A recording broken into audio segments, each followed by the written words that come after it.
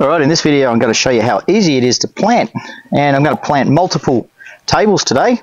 I've grown these seedlings uh, in our Rockwool grow cubes available on our website and all you want to do is when they're ready to go just pop the Rockwool grow cubes with the seedling in it straight into a basket like that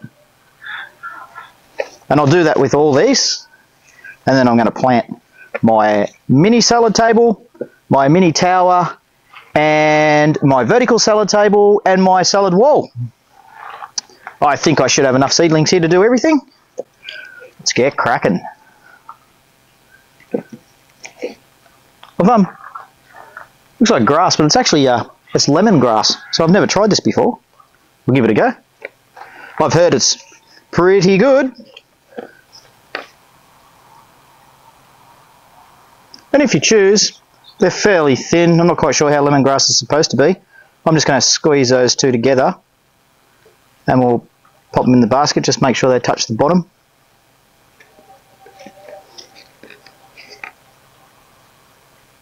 The same with them.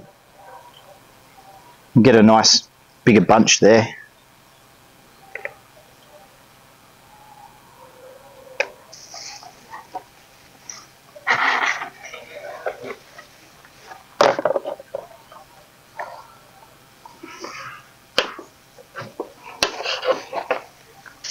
Got to, because these seedlings are so big, they're a bit of a pain because I've got to um, try and get them apart from each other without wrecking them.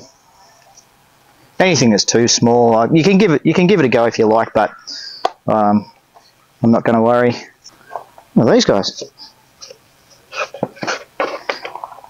I accidentally grew some root crop once. I thought they were I thought thought they were beetroot leaf, and I ended up getting some seeds that were beetroot put them on the farm and they grew fantastically. Look at that.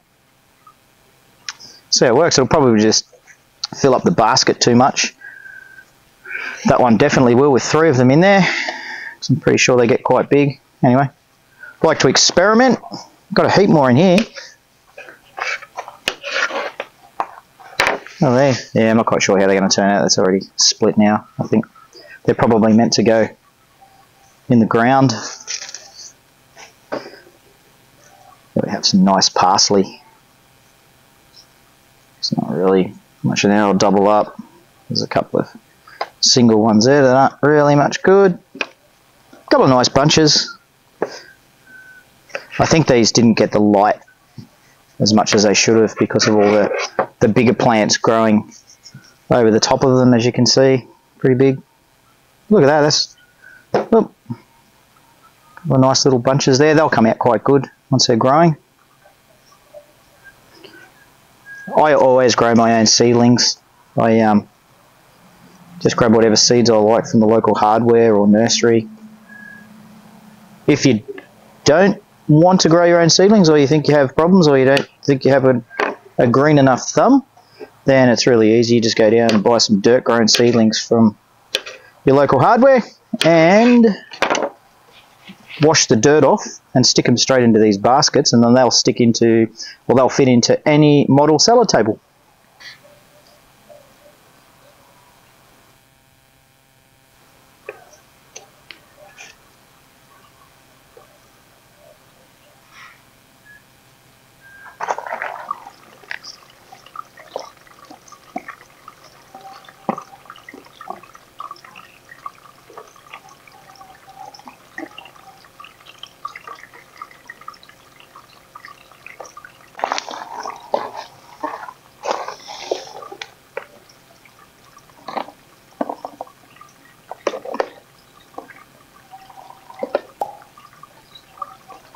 Going here so nicely.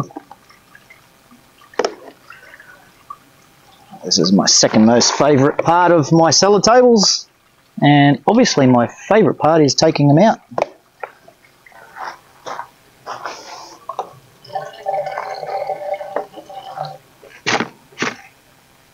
Here I've got some cress and you can see that those seedlings are really long. They're way too old, or as in I've left them in there for way too long. So just so I can prop them in the basket properly, if I just put one in, it may just fall out of the basket pretty easily if you get a little bit of wind around as well. So what I'm going to do is I'm just going to squeeze two of these together, get all the roots in there, make sure they're at the bottom, and just pop that two of those in there together and it'll give them a little bit more support so that they don't fall out of the basket once they're in the in your salad table. Got some nice dill in here too.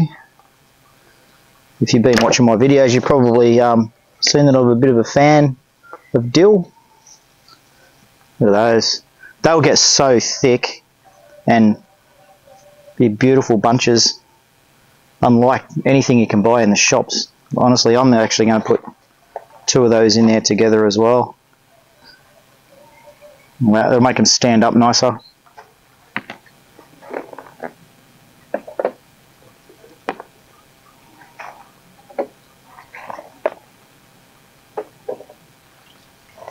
And if you find you've got some really leggy plants, really long, that are going to be hard to stand up on their own, just I've just got two of these grow cubes. I've left them together. I'll pop them in there and squeeze them in the hole. It'll give them really good support and they'll just stand up nicely in your salad table.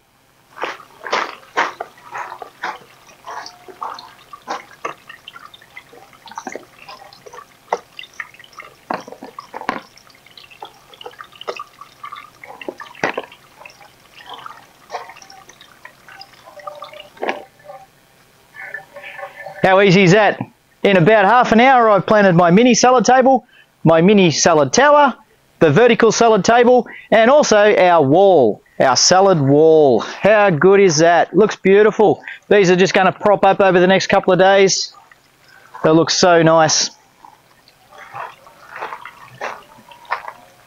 Awesome. All right. I'm Dennis from the saladtable.com.au.